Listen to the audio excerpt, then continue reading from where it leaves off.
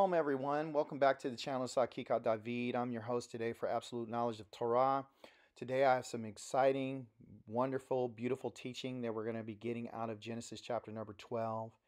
Is dealing with the promise that was made to our father, Abraham. Those of us who are uh, bloodline descendants of Abraham and those of us who have joined to the house of Israel or the house of Yehuda, um, are entitled to this promise that the Most High has made. It's a beautiful promise.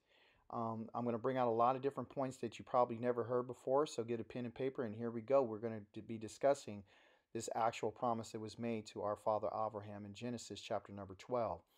And let's begin as it reads. It says, And now Yahweh had said to Avram, Get out of your country, from your family, and from your father's house to a land that I will show you, and I will make you a great nation, and I will bless you.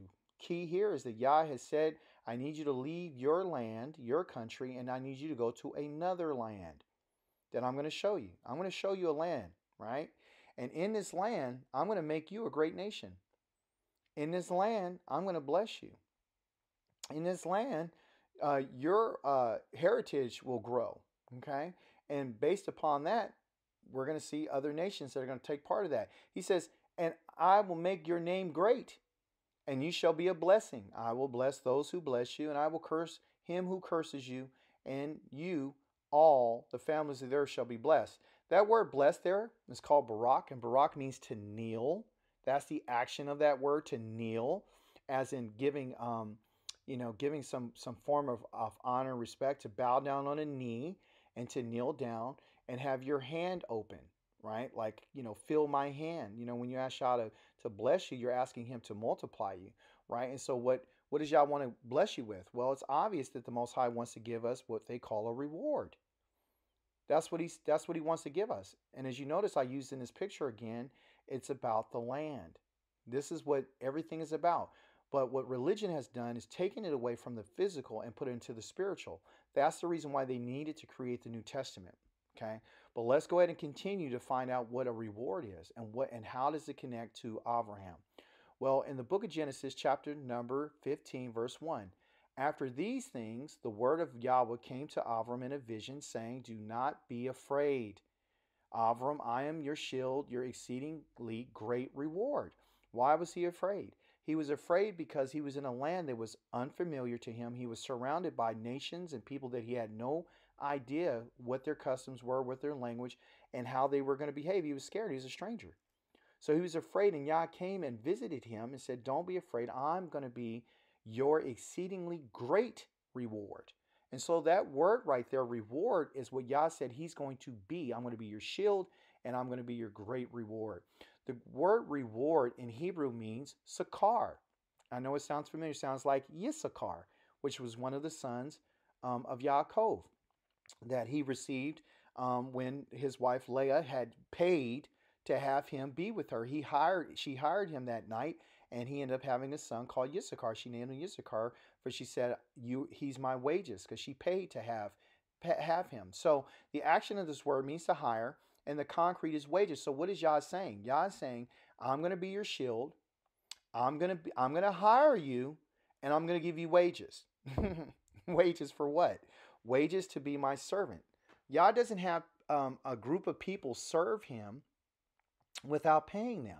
It would be totally against and contradictory to the Torah. So Yah is saying, I'm going to be your master and you're my servant, and I want to pay you for serving me. And the way that I'm going to pay you is by giving you a reward.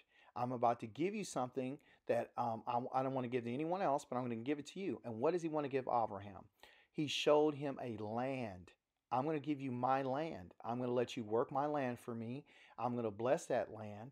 And also, too, um, if you teach your descendants my ways, then I'm going to actually let them live there and I'm going to bless them too. So let's take a look at that. So in Genesis number 18, 17 through 19, Yah was on his way to destroy Sodom and Gomorrah. But also, too, he was there to deliver a message to Avram and his wife Sarah to let them know that they were going to have a son called Yitzchak. Okay, they both. She laughed when she was in a tent. That's what his name means, laughter. But at any rate, it says this, and Yah said, "Shall I hide from Abraham what I'm doing? Since Abraham shall surely become a great and mighty nation, and all the nations of the earth shall be blessed in him. For I have known him." You hear what he said? He said, I have known him in order that he might command his children and his household after him, that they keep the way of Yahweh to do righteousness and justice, that Yahweh might bring to Abraham what he has promised to him. So he's saying if Abraham is to command his children and his household after him, meaning perpetually, you know, instruct them, teach them the way of Yahweh, right? To guard Yahweh's way, because the word keep there means shamar. Shamar means to guard or keep keep watch over, to observe the way of Yahweh. To do what? To do righteousness and justice. Then Yahweh says, when if he does these things, I'm going to bring about what I've promised to Avram. And what did he promise Abraham? He said, I'm going to be your shield, I'm going to protect you, and I'm going to be your great reward. I'm going to be your sakar. Okay, I'm going to make you, um, I'm going to give you wages. What? For being my servant. So we find in the study here that what is the way of Yahweh? That's a question, you know, and what is what was it that he commanded his children? Well, we know in Genesis 26, 5, it says that Abram kept all the ways of Yahweh. He kept all his mitzvot and his commandments. And so what we see here is that this wasn't operative based on them believing anything only, you know, like have faith alone with nothing else. It was actually doing something physically, meaning to keep the ways of righteousness and justice. By what? Looking out for the poor, looking out for the widow, being hospitable like Abraham was. Um, he had great wealth, he had household servants, and he had to know how to live among um, Yah as his servant to be in the land that, that Yah was promised him. As you know, Yah gave him um, all the land of Israel all the land of Canaan. He told him when you get there, every place you step your foot is going to be yours. And he pronounced that covenant upon not only himself, Avram, but also to Yitzchak and also to Yaakov. Okay. Um, but we need something, right, in the land, right? And so we're going to talk about that. What do we need for land? Well, in Hebrew, it's called Geshem. Okay. And this is not only for our land, but it's for all lands. They need showers, they need rain. Okay. Um, if you don't have any rain, you don't have um, any produce, you don't have any vegetables, any fruits, nothing can grow. Um, it becomes desolate, it becomes um, a ruin, it becomes uh, uninhabitable because there's nothing there, there's no sustainability. And so that's why Yah created the heavens and the earth, so he can bring the water down from the heavens to the earth. So let's take a look at what he says in Leviticus chapter number 26. He says this If, I want you to remember that word, you walk in my statutes and keep my covenant, or excuse me, my commandments, and perform them, meaning to observe them, to do them, then I will give you rain in its season. So you can see there's a direct correlation and connection between rain and keeping Yahweh's statutes and his commandments. The land shall yield its produce, the trees of the field shall yield their fruit. Your threshing time shall last to the time of the vintage, and the vintage shall last till the time of sowing. And you shall eat bread and to the full, and dwell in your land safely, and I will give shalom, peace in the land, and you shall lie down, meaning go to sleep, and none shall make you afraid. I will rid the land, meaning get rid of all the evil beasts that are in the land, because they had evil beasts running around, which were trying to bring harm to the children of Israel, and the sword will not go through your land. Okay, and so we can get into that. But what we notice is a if and then. Okay, if you walk in my statutes and commandments and you perform them, you don't only walk in them, right, physically, but spiritually also, you have to be able to do them. But also, too, then I will give you rain in its season. So what we recognize is that Yah created the heavens, right, and He calls upon them to be a witness between Him and Israel. And if Israel doesn't do what He says, then in, the rain won't come in its seasons, and then they won't have produce, they won't have fruit, they won't have wine, they won't have bread, and they won't have any peace. And the reason that he's given this rain and this fruit and this vintage and this bread is not just so the benefit of them as a, as a reward as them being a servant, but also too is to recognize where it came from. It came from the Holy One of Israel, and it's based upon the covenant that he made with Abraham, Yitzhak, and Yaakov. But it's all contingent upon our obedience to what the statutes and the commandments. And the reason why he gives the rain in the seasons because after every season, we were required to bring gifts to Yahweh, which was the fruit, the vintage, and the bread, and the produce, and that of the animals and the sheep and the and the, the cows and whatnot. And so if we were doing what we were supposed to have done, then everything will be copacetic. Everything will be going well. If we did not do what we were supposed to have done, then we would have a shortage of these things, and then everyone would suffer, including the fatherless, the widow, the stranger, and even ourselves. And so there's a direct connect between the land, the rain, and our obedience. And so that's the reason why, you know, right now, rain for us doesn't really mean that much. It means it's bad weather or we can't go outside or we got to be careful when we're driving. But back in Israel, in our land, it actually is representative of that of our obedience, right? And I don't know if you know this, but rain has a connect to the word Torah because it's called Yara, meaning to point in a direction. So when rain falls down, it's being shot in a different in a, in a direction it's supposed to, just like the Torah. So there's a connection there. But the reward and the benefits, of course, as you can see, has to do with the produce. It has to do with the fruit, the vintage, the bread, and peace. And so these are the benefits. And uh, like I've been talking about, you know, I get on a lot of people about, you know, they always talk about that which is spiritual, but they never talk about that which is physical. And so we notice that the fruit is uh, physical, the fruit, the produce, the vintage, the wine, the bread, and even the peace and, and a state of mind to live in this is what I'm looking for. Okay, so when he talks about bringing us back to our land, these are the, the benefits and the rewards of the, the descendants of Abraham if they were be obedient. Okay, and this is what a lot of people are going to be forfeiting. Okay, they're going to forfeit the, the fruit, the vegetables, uh, the wine, the bread, and the shalom. Because Yah says that an, um, a rebel will not go back into the land. Okay, just like he disinherited our fathers who came out of Egypt and they had a you know really nasty attitude. They were very bitter and they wanted to hold on to the gods that they were serving from the, who they learned in the land of their oppression. Like us today, we're serving the God of the United States of America. Well, I used to. I don't serve that one. And his son Yeshua or his son JC, just depending if you're white or black, determines you know what what's his name for you. But at any rate, the gods of the other countries is where they try to continue to hold on to. And Yah says, no, you can't have that because it gives you a frame of mind and a mindset. You know, you're becoming more spiritual instead of more physical. So he says this in Jeremiah chapter 5, verse 23 through 25. But this people has a defiant and rebellious heart, as I've been saying. They have revolted and departed from what? From the Torah. They do not say in their heart, Let us now fear the Yahweh our Elohim, who gives what? Rain. He gives rain both the former and the latter in its season. Why? I've talked about the seasons that it has, right? He reserves for us the appointed weeks of harvest. This was huge in our um, our our culture, in our custom. Agriculturally speaking, it was a matter of life or death for us, right? And so he's saying, Your iniquities have turned these things away, and your sins have withheld good from you. Meaning, again, the connection is if you sin against Yah, um, you actually change nature because Yah won't send the He won't send the rain. So you've actually changed the seasons. You've caused disruption in, in, in the earth because of your sins, your iniquity. And he says, Your sins have withheld this good from you, right?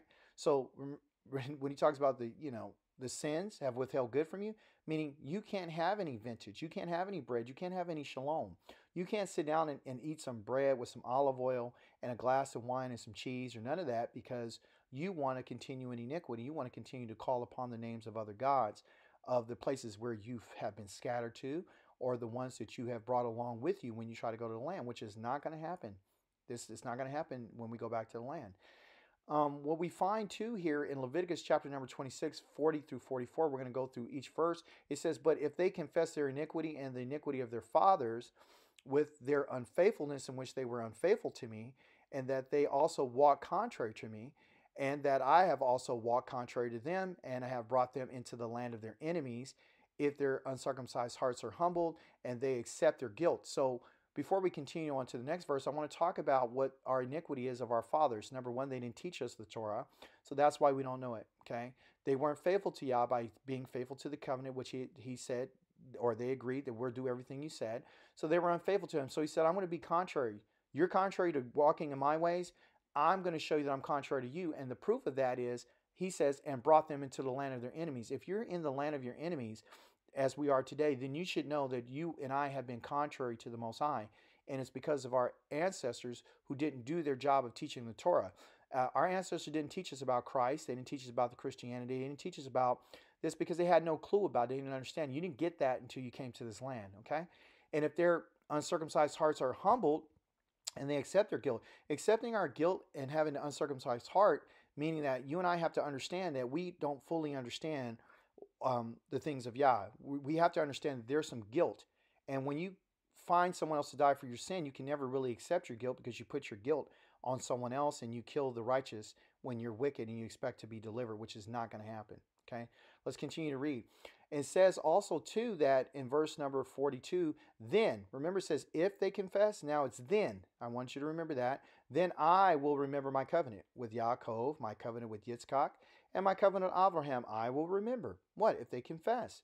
Not if someone dies for your sins. Then he says, I will remember the land. Remember, we started off talking about the what? The land, because that's what Yah had promised to Abraham, to Yitzchak, and Yaakov. He says, The land shall also be left empty by them, meaning in this discussion in 26, he's talking about if they didn't keep the Sabbaths, what he was going to do to them. And he did that. He says, The land also shall be left empty by them, and I will and it will enjoy its Sabbaths, Why it lies desolate without them. That's the reason why we're not there, is because we violated the Kukim, which is the one of the laws that the Most High talks about us releasing the land after every uh, seven years or every six years, and we let it rest in the seventh. We were not giving the land a Sabbath. So the Sabbath is not just a day for us to rest, but it was a day or a year for the for the land to rest because we ourselves come from the land and the land itself needs to be rested as well. And because we violated that, he says it's going to lay desolate without them, and they will accept their guilt because they have despised my judgments, and um, because my soul uh, and because their soul abhorred my statutes. We abhorred him. We didn't want to do what he says. Our ancestors didn't want to do it, but he said we have to accept our guilt. You can't put your guilt on Christ. You can't put your guilt on anyone else. You have to accept it for yourself, and that's what this is about physically. Okay, it has spiritual implications, but physically that's where it's at. And let's finally look at. He says, "Yet for all that, when they are in the land, the L A N D, the physical land of their enemies, I will not cast them away, nor shall I abhor them to utterly destroy them and break my covenant with them. For I am Yahweh their Elohim. Well, why is he not going to do this? Because as you can see, he's given the land its rest. He's given it the Shabbat that he needed without us. And he's saying, um, I'm not going to destroy them or abhor them like they did me. Okay. But for their sake, I will remember the covenant of their ancestors, whom I brought out of the land of Mizraim. So, who is the ancestors that he brought out of the land of Mizraim?